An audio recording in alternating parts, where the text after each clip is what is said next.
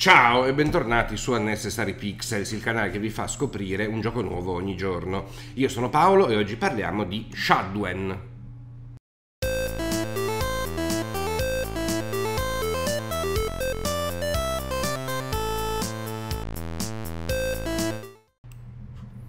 Shadwen è il nome della nostra protagonista, che dovrà attraversare una serie di livelli accompagnate da una bambina per andare a commettere un omicidio in un gioco che è uno stealth tra i più puri che io abbia mai visto. Allora, primo livello, ah, introduzione. Shadwen e la bambina ammazzano un tizio. Flashback. Una bambina scappa in una città che eh, stata in qualche modo occupata da dei soldati o che comunque è sotto il gioco dei soldati che non sono affatto contenti di, di vederla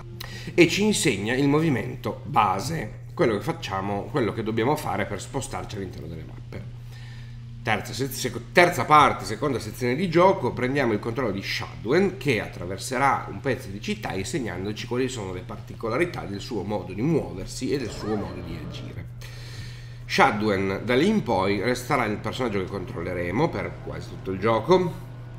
e eh, avrà la possibilità di muoversi silenziosamente, nascondersi, eh, utilizzare un rampino per agganciarsi alle piattaforme, tirarsi su o dondolare per fare effetto Tarzan da appiglio ad appiglio, tanto per capirci, eh, e eh, uccidere le guardie se le prende di sorpresa.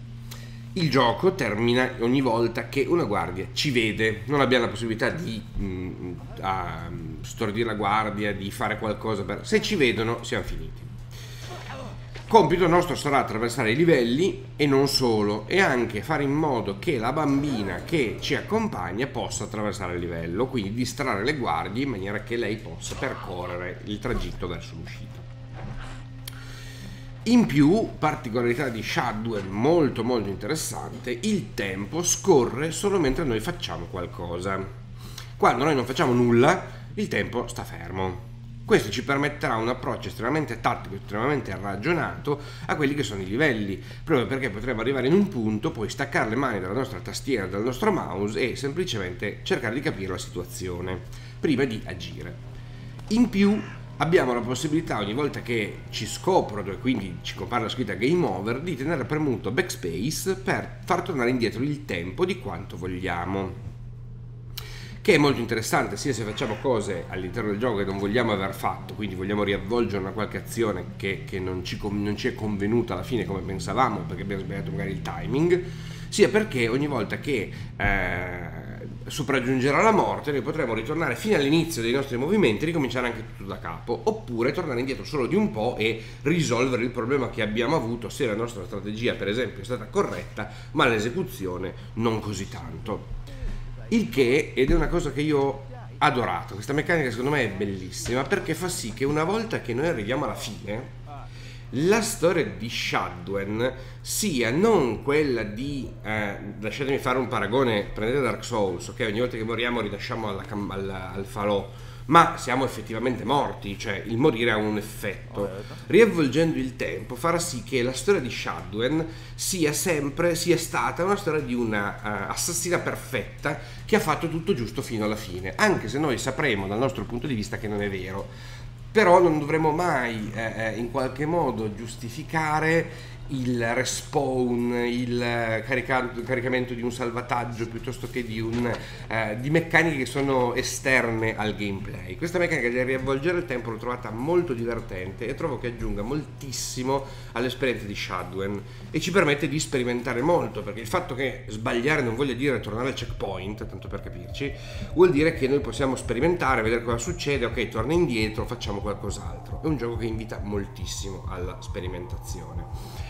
Eh, è uno stealth puro, vi ho detto, perché lo scopo nostro sarà quello di arrivare alla fine del gioco senza avere, eh, pr- potendo non aver ucciso nessuno nel tragitto.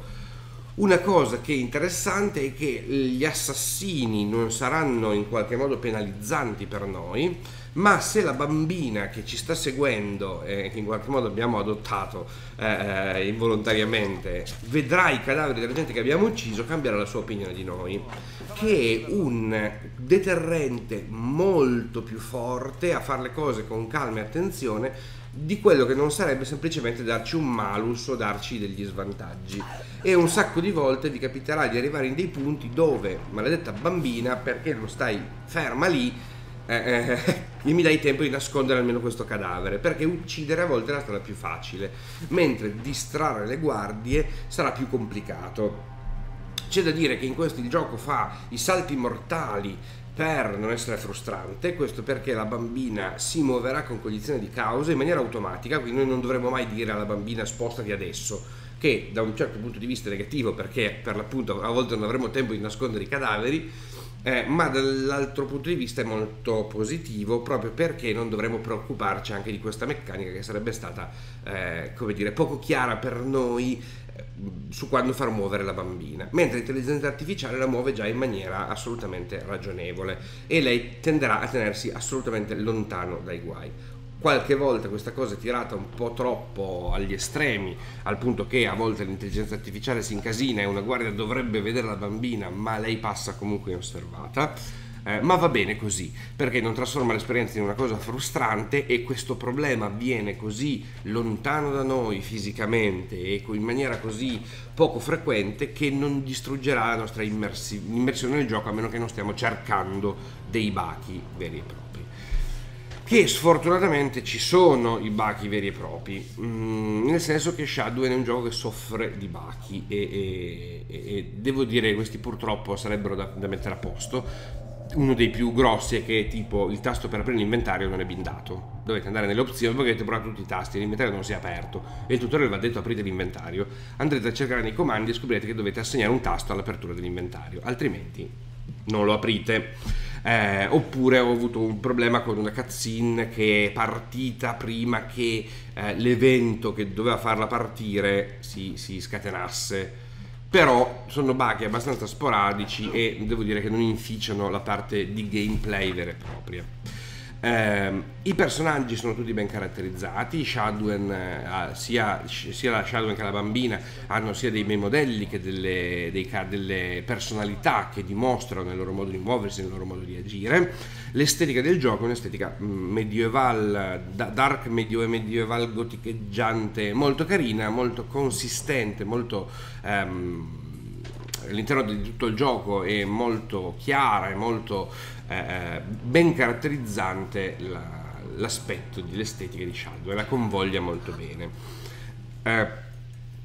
ok, mi piacciono molto i giochi che mettono come incentivo a essere giocati in un certo modo degli eventi emotivi e del, degli, eventi, degli elementi di gameplay emotivi e non degli elementi meramente numerici. Shadowrun lo fa, lo fa abbinando a questa cosa delle meccaniche originali, delle, eh, un gameplay divertente eh, che devo dire perde qualche colpo soltanto nella precisione nei movimenti col rampino usato come liana, ma stiamo parlando di cose che proprio grazie al fatto che è possibile riavvolgere il tempo e rifare senza particolari traumi, non pesano sulla qualità del divertimento che noi stiamo giocando. Shadowing lo trovo molto interessante, se vi piacciono i giochi stealth ve lo consiglio, costa 17 euro su Steam, è stato sviluppato dai Frozen Byte eh, e mh, veramente se i giochi stealth sono giochi su, nelle vostre corte, secondo me Shadowing è un gioco molto molto molto interessante. Io vi ringrazio per aver seguito questo episodio, vi ricordo di schiacciare mi piace, iscrivervi, condividere, commentare, fare tutte le cose che i bravi eh, spettatori fanno su YouTube. Noi ci vediamo al prossimo episodio di Unnecessary Pixels. Ciao!